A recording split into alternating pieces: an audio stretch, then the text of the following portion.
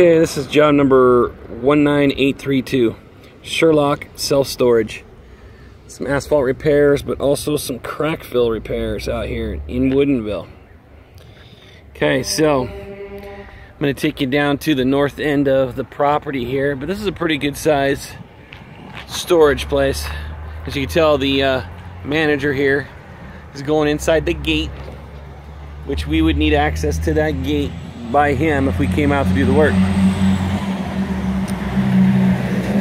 Take you down to the north end here. This will be one problem we'll be talking about. But there is asphalt repair number one. Got some alligator cracking going on here in this section. We got here all the way across, and then you've got this huge groove. So asphalt repair number one is going to be a 15 foot by 2 foot repair right here. Then you've got, uh, well actually it's a 15 foot by 1. So 15 foot by 1. Then you've got this section here of alligator cracking.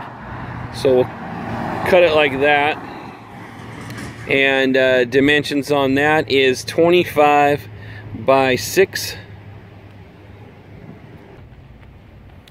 Okay, so those are your two two measurements for asphalt repair number one. Make your way down the middle here. All of this looks a little damaged, it's a little rough, but I think we're hanging in there right now.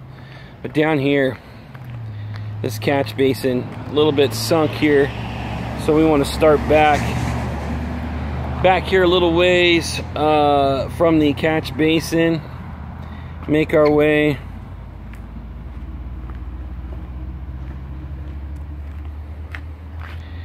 It's about 12 foot by 3 foot. 12 foot by 3 foot in this section here.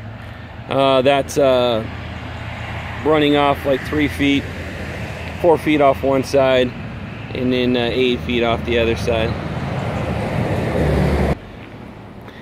Okay, so that's asphalt repair one and asphalt repair two are on this north side of uh, the property. A catch basin, that way uh, the water will flow back into the catch basin. I'm to take you into this area. There's some crack fill throughout the whole property. And I'm going to say there's about a thousand feet of crack fill from the north end all the way to the south end. Here's one of them here.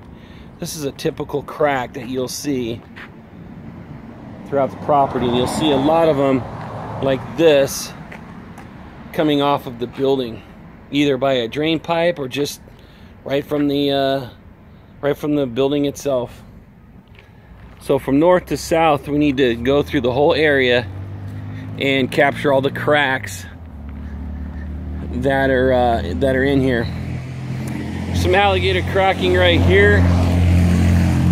Uh, he didn't uh, account for it yet, but I'm going to include this. So it's going to be L-shaped right here, right here, and right there.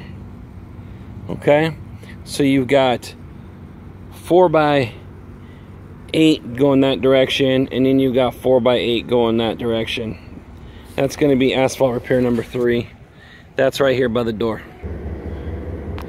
This patch is at the very entrance here. A Sherlock self-storage. 24 by 10. 10 foot. Starting down at about this crack. Going up 10 feet. Over 24 feet to capture that area that's damaged there. Big rectangular piece. So this area by the front of the storage place is a little trickier we're gonna keep that drain pipe there. But problem is, is water's collecting right in this little spot right here. It's like building up and then finally it flows over into there. So what they need to do is keep in mind that this area right here is at the correct height and we need to keep the slope going in this direction.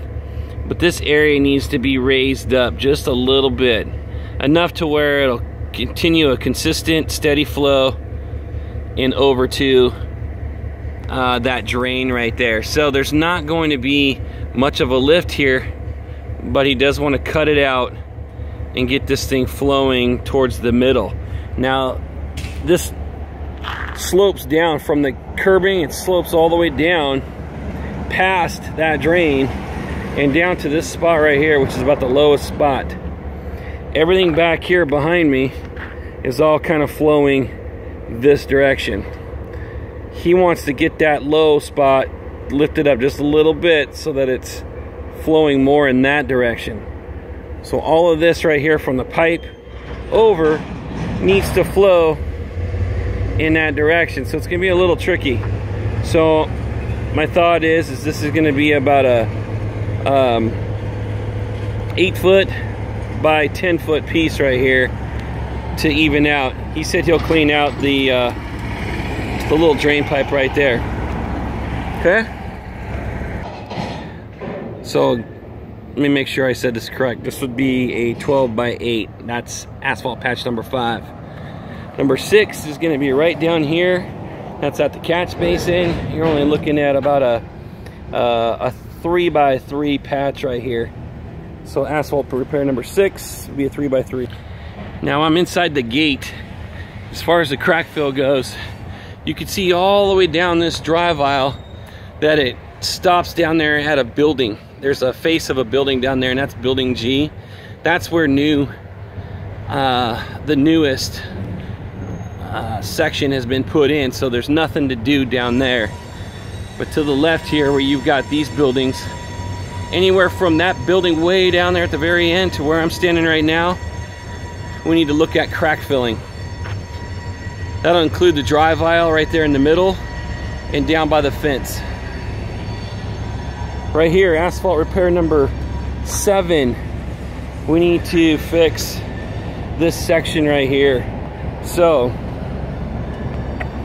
you're looking at a 10 by 4, come 10 feet my direction by 4. That catch basin, by the way, is right in the middle between building B and building C. Catch basin. All right, asphalt repair number 8 down here by this fancy, nice little uh, Tioga walkabout trailer or uh, camper excuse me, I guess that's called an RV. Anyways, uh, this little section right here, it's all worn out as well. Uh, you've got some alligator cracking.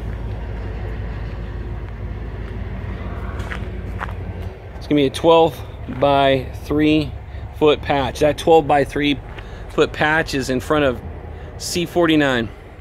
Okay? 12 by 3. That's asphalt patch number 8. Again, you'll see some alligator cracking coming off the buildings.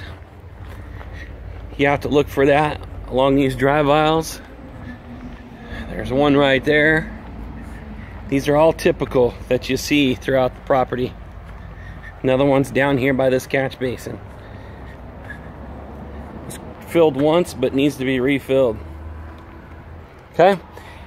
Asphalt patch number nine by this catch basin. It's between D and C that right there, uh, we want to take care of the alligator cracking that goes through here, plus the square area right there. So asphalt patch number nine is going to be a six by six and then a 10 by two.